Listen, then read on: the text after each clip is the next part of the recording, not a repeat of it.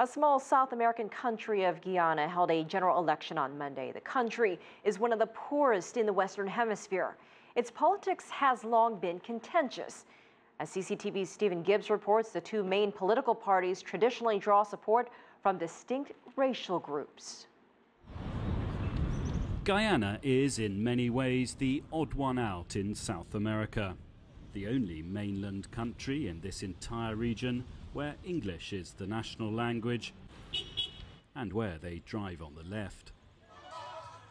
The politics, too, is unusual, for this is a nation where racial background has, for decades, largely determined how everyone votes.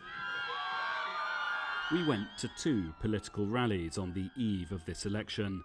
This one was held by the governing party, the PPP. The president, Donald Ramotar, who has a Marxist background, is addressing the crowd. Look at the faces of those listening to him.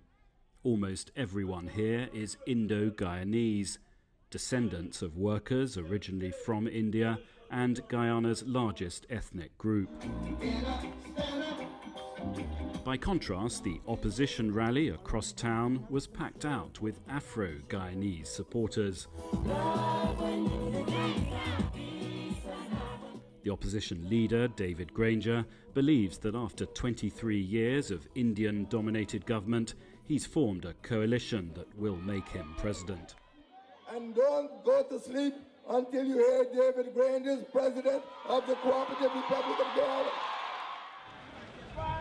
Knowing the result is almost bound to be disputed by whichever side loses, teams of international observers are in country.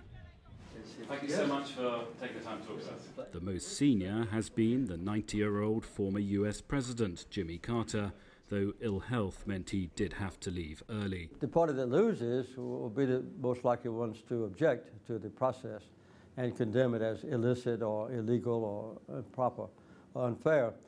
And uh, if that is the incumbent uh, ruling party, the PPP so-called, which is mainly Indo-Guyanese, uh, then I think it'll be a difficult thing to maintain order and, and a peaceful transition.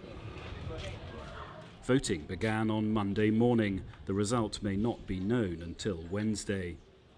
This vote counts, and not just because people here are electing a leader for the next five years, but also because it takes place in the midst of a tense political standoff. Last November, the president, facing a no confidence vote in the opposition led parliament, abruptly suspended it and called early elections. The move he hoped would wrong foot his opponents. Is he about to regret that gamble? Stephen Gibbs, CCTV, Georgetown, Guyana.